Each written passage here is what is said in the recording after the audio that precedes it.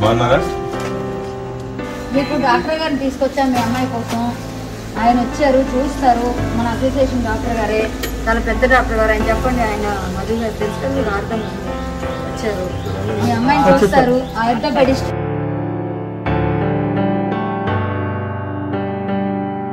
ఇప్పుడు మీకు మీకు నెలకి ఒక అమౌంట్ కావాలన్నారు కదా. డబ్బుల రూపంలో కావాలన్నారు కదా. వస్తువుల రూపాన ఈ మెడిసిన్ రూపాన అవసరం లేదు కదా మీరు కొనుక్కుంటా అంటున్నారు కదా మీకు మీకు కావాల్సిన సరికి మీరే కొనుక్కుంటా అన్నారు కదా. ఇప్పటి నుంచో మా అసోసియేషన్ కార్డు ఇవ్వాలని మీకు మా కమిటీ మెంబర్ అందరూ అనుకున్నారు. సో దానికి ఒక లక్ష రూపాయలు అవుతుందని చెప్పేసి అందరూ తలకు పదివేలు వేసి చేద్దాం అనుకున్నారు. సో ఆ డబ్బులు ఏం చేశారంటే ఇలా ఈ విషయం చిరంజీవి గారు తెలుసుకుని చిరంజీవి గారి దృష్టికి వెళ్ళింది చిరంజీవి గారి దృష్టికి. చిరంజీవి గారి దృష్టికి వెళ్తే ఆయనే ఉదయం మా అసోసియేషన్కి డబ్బులు ఆయన ఇస్తారని చెప్పి ఆయన ఇచ్చారన్నమాట. ఆ, కార్డు ఇచ్చేసారు. ఇప్పుడు మీకు మా దగ్గర మీకు తెచ్చేసాం మీరు జీవిత గారికి ఫోన్ చేసి డ్రెస్ తీసుకొని చెప్పారంటే అవి తెచ్చాం.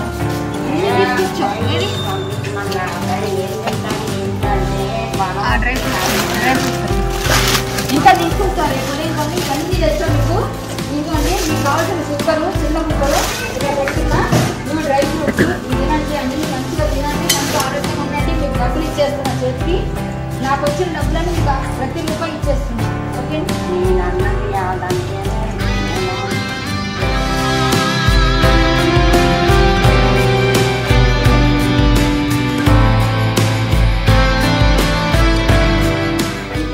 ఇది చిరంజీవి గారు మీకు మా అసోసియేషన్ మెంబర్షిప్ ఇచ్చారు. ప్రతి నెల మీకు వస్తుంది. చిరంజీవి గారికి మీరు రుణపడి ఉన్నారు. ముందు రెండు లక్షలు పంపించారు. ఇప్పుడు ఒక లక్ష రూపాయలు ఇది పట్టుకోండి. మీరు చిరంజీవి గారికి ధన్యవాదాలు తెలియచేయండి. ఒక బయట తీసుకుంటాం ఆయన పంపిస్తాం. ఇది మీరు ఖచ్చితంగా మీకు అసోసియేషన్ ఇప్పుడు మెంబర్ మీరు. మిమ్మల్ని మేము చూసుకుంటాం. చిరంజీవి గారు అంటే నాకు దేవుడితో సమానం. చిరంజీవి గారు రెండు లక్షలు పంపించినప్పుడు నాకు మైండ్ బ్లాక్ అయిపోయిందండి. నన్ను ఏం మాట్లాడు నాకు మైండ్ లేదు సార్. మీరు హృదయపూర్వకంగా క్షమించండి నన్ను. క్షమాపణ కోరుతున్నాను. మీరంటే నాకు ఎంతో అసలు ఏంటో భగవంతుడు ప్రత్యక్షమైతే ఎలా ఆ, నోట మాట రాదో అలా అయిపోయింది.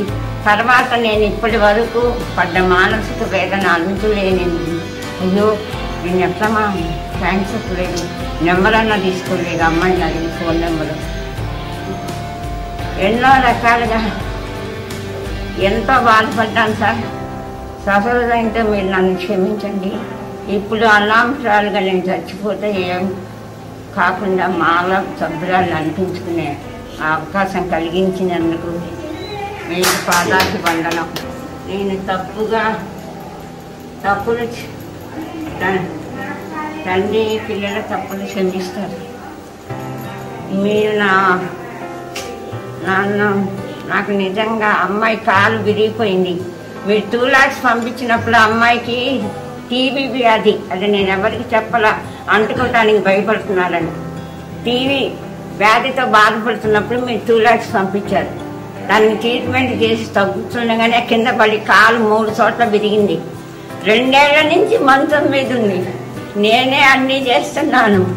అతి భయంకరంగా రెండు మూడు నెలల నుంచి తినడానికి లేక అమ్మాయిని బలమైన ఆహారం పెట్టలేక ట్రీట్మెంట్ చేయలేక ఆ అమ్మాయి ఇప్పటికొచ్చి లేచి నిలబడి నడవట్లే మీరు సహాయం చేసినా నేను నడిపించలేకపోయాను. ఎవరు సహాయం చేయలేదు. ఎవరు ఫోన్ నెంబర్ తీయలే మీ ఆ వేళ నేను అమ్మాయి గారిని అడిగింది ఫోన్ నెంబర్ తీసుకుంటే ఇట్లా జరిగిందంటే మీరే కాపాడేవాళ్ళు. ఇప్పటికి కూడా అనుకుంటాం.